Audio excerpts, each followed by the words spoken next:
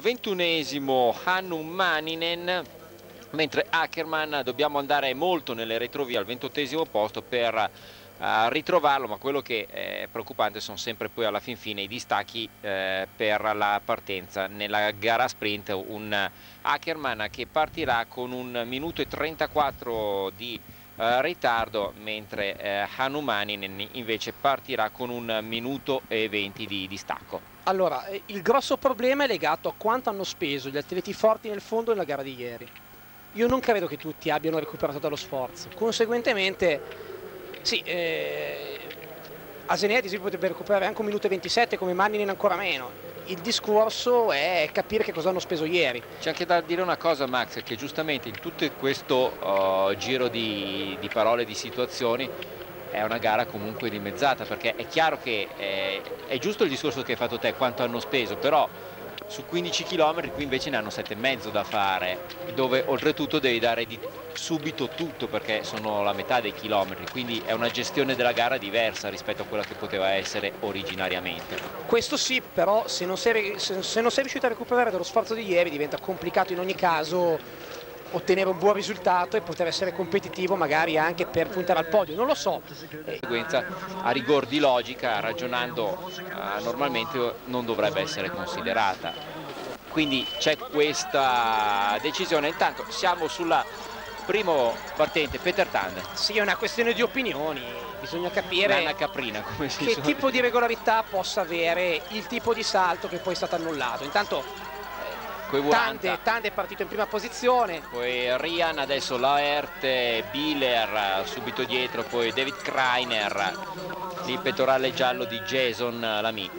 Ieri Tande bene ma non benissimo nel fondo, ha perso tante posizioni, qui Volante ne ha perse ancora di più, su Espen Rian non apro neanche la parentesi. Però Maxine Lahert che parte con il numero 4 ieri ha concluso in sesta posizione e ha tenuto bene forse potrebbe diventare uno dei favoriti. Christoph Bieler sarà il quinto a partire, su una distanza così breve può dire la sua, però ricordiamo che Christoph Bieler non ha mai vinto in Coppa del Mondo. Il distacco è comunque colmabile da quelli che partono dietro, ribadisco, dipende da quanto hanno speso ieri.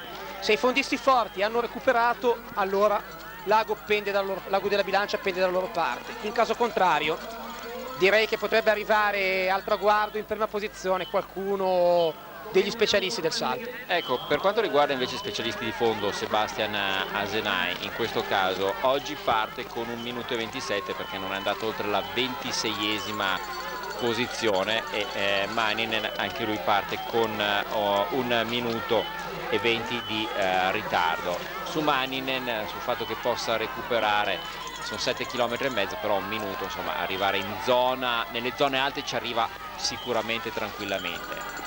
Eh, per quanto riguarda Asenai eh, bisogna vedere come sono le sue condizioni, fermo restando che eh, nelle prime gare, insomma ha fatto vedere nella prima gara, proprio nella primissima uscita aveva fatto vedere di, di, di essere in grado di, eh, di essere partito molto bene, soprattutto discorso valeva per il salto perché era il suo tallone di, di, di Achille sugli sci stretti e, e che tallone di Achille. Ma il problema di Asenei oggi è quello di partire con distacco rispetto a Manninen se riesce a recuperare in breve tempo e poi riesce a darsi cambi regolari con il finlandese, i due rientrano sicuramente tra, rispetto a quelli che sono davanti ora. Eh, sono 7 secondi, poi non sono neanche tantissimi fra Manninen e eh, lui. Intanto andiamo sulla testa della corsa con uh, Kekkonen che transita agli 800 metri, in, sì. uh, sempre in settima posizione, Gruber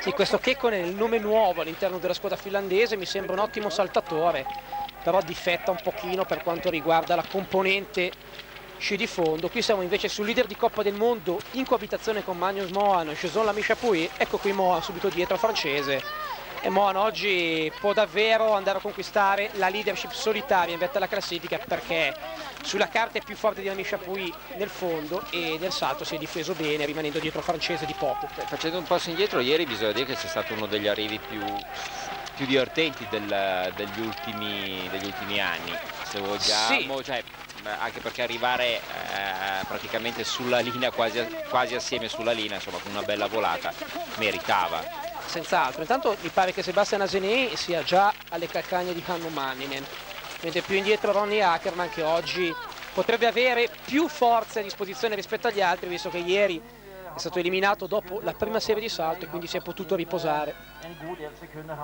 Intanto qua siamo sul testa con uh, Peter Tande abbastanza vicini sempre almeno per il momento, sia Coevoranta sia Espen uh, Rian, poi David uh, Kreiner. Sì, David Kreiner è uno di quelli che potrebbe provare a tenere mm, il passo. il passo, anche se lui ha grossi alti e bassi nella componente fondo. Qui invece con il 7 Kekkonen. rimaniamo su Kekkonen che credo non possa mantenere un passo sostenuto. Attenzione che Tande è stato raggiunto da Coivoranta e anche Espen Rian tradotto significa che Tande oggi è in grandissima difficoltà Vediamo il secondo trenino invece con proprio David Kreiner, poi Laerte, Maxim Laerte, Christoph uh, Bilar. 4 minuti, siamo 2 km e mezzo dietro uh, sullo sfondo arriva anche Kekkonen, Ville Kekkonen. Adesso poi per quello che dicevi tu andremo subito anche a rivedere gli altri distacchi, gente che sugli sci stretti potrebbe andare. C'è anche Kirkaisen da tenere un attimo da cercare di capire cosa può fare. Sì, Kirkaisen ieri ha concluso in quinta posizione andando in acido lattico nel finale. Non è, più, non è ancora Kirkaisen dell'anno scorso. No, anche per lui vale il discorso fatto in precedenza per Mannin, Nasenei e Mohan. Se ha recuperato al meglio da quello sforzo è competitivo anche per il podio. In caso contrario un piazzamento nei 10 potrebbe essere l'obiettivo di giornata. Andiamo a vedere i due chilometri e mezzo sempre Peter Tande come hai detto te Max sta forse accusando un po' il colpo. Ma questo è un ritmo che non li porta da nessuna parte quindi o qualcuno prende l'iniziativa eh, direi che forse 80 o 40 perché non credo che Rian abbia i mezzi per fare la differenza nel fondo. O in caso contrario vengono raggiunti da, dagli atleti più forti secondo me come hai detto te il pericolo arriva da dietro il rischio che arrivi veramente da dietro. Anche se comunque direi che non hanno recuperato poi tantissimo gli specialisti del fondo in questi primi due chilometri e mezzo. È il discorso delle tossine dell'acido lattico che abbiamo detto prima. Cioè, sono, ieri 15 km si sono sentiti e sono stati piuttosto pesanti. Eh, ma sai... per certi diversi buon per loro che oggi si devono sono sui 7 km e mezzo perché se erano 15 km eh, forse alcune cose potevano cambiare. Intanto qua i due leader eh, di Coppa Magnus eh, Mohan e Jason Lamish Chapuis che sono lanciati all'inseguimento del trenino che li precede. Dietro Maninen ha un distacco in questo momento di 58,7 partiva con 1,20 quindi eh, qualcosa recuperato. Ricordiamo siamo a 2 km e mezzo. Asenai anche lui ha un minuto eh, si sta avvicinando dovrebbe se ho fatto bene i conti a un paio di secondi da Hanumaninen. Sì, eh, anche Ackerman sta recuperando bene. Diciamo che gli specialisti del fondo sono tutti insieme però non hanno recuperato poi tantissimo in questo primo giro. Se la media di secondi recuperati rimane questa non vanno a prendere quelli che sono davanti salvo repentini cedimenti problema che vedremo io credo da metà gara in poi siamo dai 4 km a occhio e croce potremmo avere un'idea un po' più chiara di quali sono le forze eh, che gli atleti hanno in questo momento nelle gambe. Mettici anche che poi oggi obiettivamente Max è stata una mattinata estenuante, snervante, chiamala cerebralmente credo che gli abbia consumato, non, non, dico prosciugato, prosciugato, il cervello, ma gli ha, gli ha consumato parecchio perché è una gara interrotta tre volte poi alla fine riparte, insomma tante cose che penso che ne abbiano risentito. They call it chess on ice, but placing the stone... Metri e tre per questa combinata nordica al comando è passato Ansi Coiburanta, Peter Tandel tallona, Espenria che tiene ancora un secondo e mezzo, poi l'altro trenino eh, guidato da David Kreiner, lo vediamo. Sì che si sta sobbarcando tutto il lavoro, la Hert molto furbescamente rimane coperto così come Christoph Biller però dei tre quello più forte sugli sci penso che sia la Herd quindi attenzione perché i due austriaci lo stanno portando in carrozza ma attenzione a Moan che è in chiara rimonta. 29 secondi dalla testa insieme a Jason Amisha poi Kekkonen e Miki Gruber. A 32 secondi questi sono i primi gli atleti. Nei primi 30 secondi Maninen a 46 Kirkaisen a 47 Asene bel trenino in questo caso a 48 non è male. No non è male assolutamente. Della serie qualcuno che tira il gruppo c'è sempre e, e qui però sono tre specialisti degli sci stretti. Ackerman quindicesimo dietro Ölig, Menz, Runen, Atekayama, uh, tutti abbastanza staccati. E intanto ritorniamo con Ansi Queburanta che è sempre tallonato da Peter Tande, Espen, Rian ma sono sempre più vicini il trenino di Kreiner degli inseguitori sono parecchio vicini. E adesso devono stare attenti però dietro perché il terzo trenino è proprio quello che abbiamo detto quello costituito da uh, Chapuis e eh, compagnia esattamente esattamente mi sembra sulla carta più forte il trenino di Chapuis e di Lamiscia Pui e Magnus Mohan. È chiaro che devono recuperare tanto, mentre mi pare che ci sia ricongiungimento tra i primi due trenini. Quindi i due austriaci più la Hert sono andati a riprendere Tande, e Coivoranta.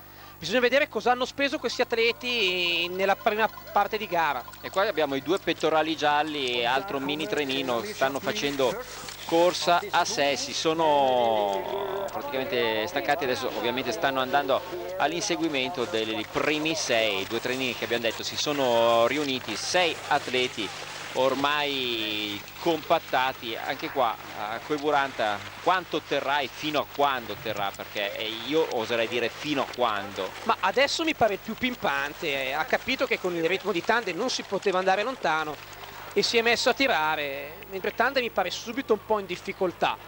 Eh, non so, non saprei Luca.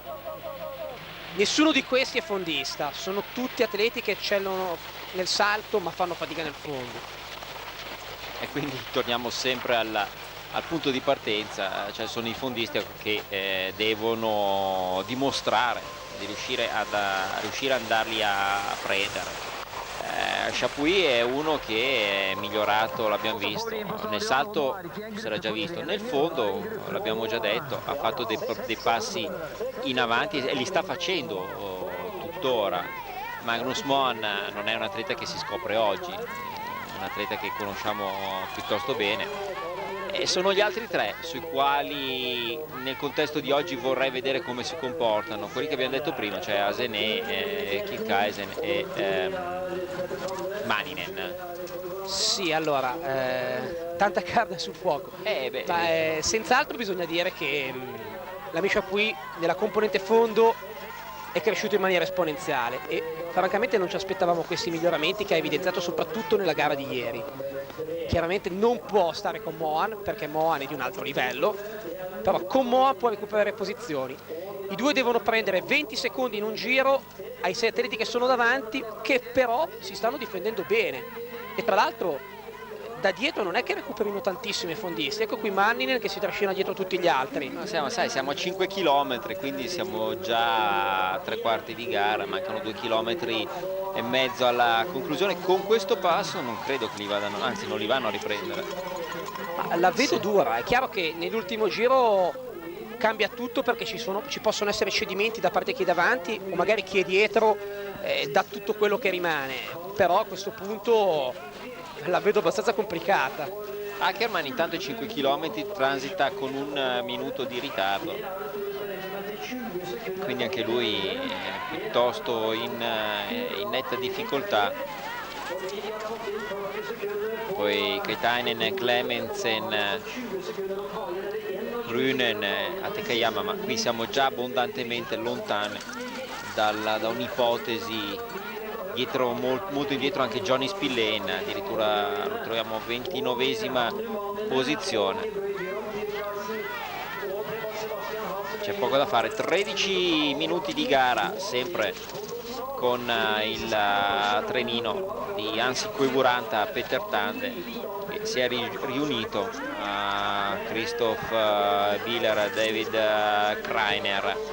Dunque adesso sono praticamente sei corridori sei atleti che stanno facendo l'andatura sì c'è un dato gara. molto interessante. Degli atleti davanti l'unico che finora ha vinto una prova di Coppa del Mondo è stato Peter Tande. Biller ci è andato vicino innumerevoli volte ma non è mai riuscito a conquistare il successo. Tante volte sul podio ma mai una vittoria e per gli altri invece meno soddisfazioni qualche podio per Coivoranta addirittura la Herty il podio non l'ha mai visto. Quindi non so se sia facile per loro però vedo Mohan che ormai ha nel mirino i sei davanti e si trascina dietro anche ci sono la Misha Pui tanto ti comunico è cambiato al, in testa cioè Biller che è passato a fare l'andatura in questo momento.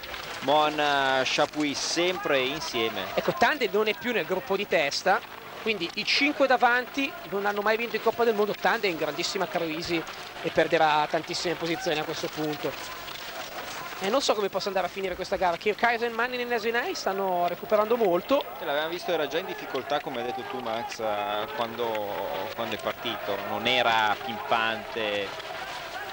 E carico a Mila Asenai a 24 secondi eh, Gruber a 36 facciamo due conti sono 5 km 8 qui siamo su Ronnie Ackerman anche lui in chiave rimonta in compagnia di Bill DeMong atleta statunitense specialista del fondo a questo punto è più interessante andare sulla testa della gara per capire come evolve la situazione. Sì, anche perché abbiamo visto sta continuando comunque a cambiare.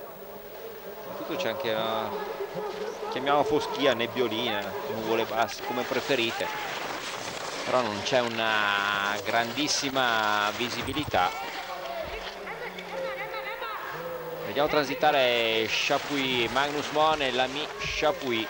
Eh, ho l'impressione che anche oggi si possa assistere a una volata, anche se davanti qualcosa si muove. Si è un po' allungato, se non vado errato, Max. Hanno guadagnato qualcosa treno. Christoph Bieler ed Ansi Coivoranta, Sempre... che ci stanno provando e la Hert si è lanciata all'inseguimento dei due atleti. Vediamo, eccoli qua, i due leader di Coppa ormai sono quasi eh, ricongiunti. Io credo che si allungherà ulteriormente il trenino dei sei lì davanti, perché abbiamo già visto si sta un po' sgretolando oltretutto ovviamente i due leader di Coppa stanno spingendo al massimo qui siamo su Biller e Ansi Coeburanta hanno allungato hanno decisamente allungato poi la Ert eh, David Kreiner e Moan e la Misha Pui hanno l'intralcio di questi atleti che in questo momento non possono superare ma che li rallentano oltremodo Coivoranta in odore di podio oggi. Coivoranta direi di sì, direi in odore di podio. Decisamente. Anche, anche, perché se ti ricordi nella Bunders iniziale della stagione aveva avuto proprio un cedimento a un certo punto, era stato, era stato risucchiato pur avendo saltato eh, in maniera, avendo fatto un discreto salto. Sì, esatto Qui però il vantaggio che hanno preso Biller e Coivuranta potrebbe essere decisivo perché manca pochissimo al termine della prova, meno di un chilometro.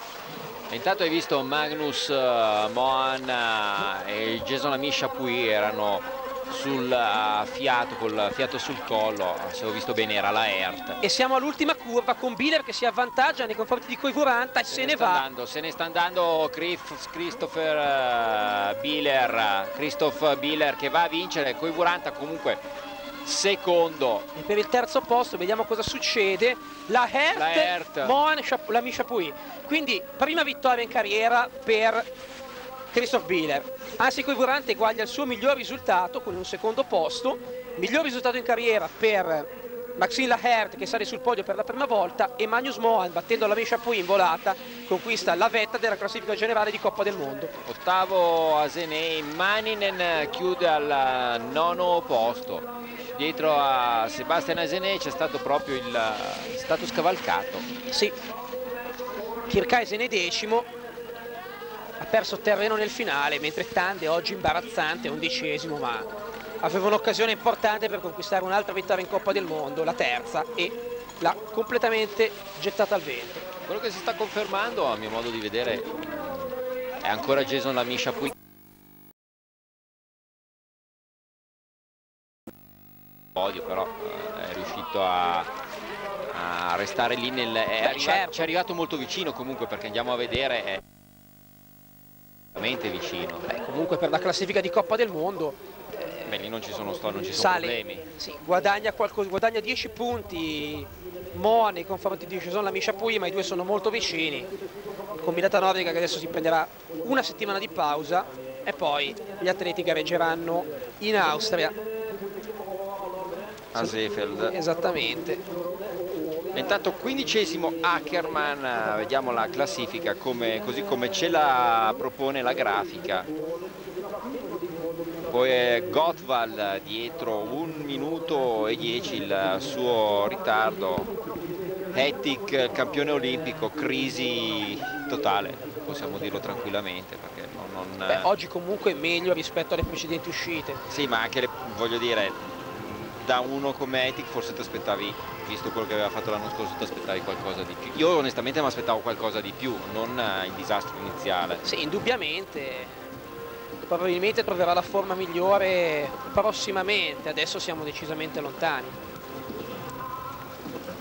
Michelmeier, poi Herr, Reader, Schillinger, qui siamo già oltre i due minuti di uh, ritardo è cosa abbastanza strana non vedere Maninen sul podio. Sì, cosa abbastanza strana, ma ho l'impressione che il vento sia cambiato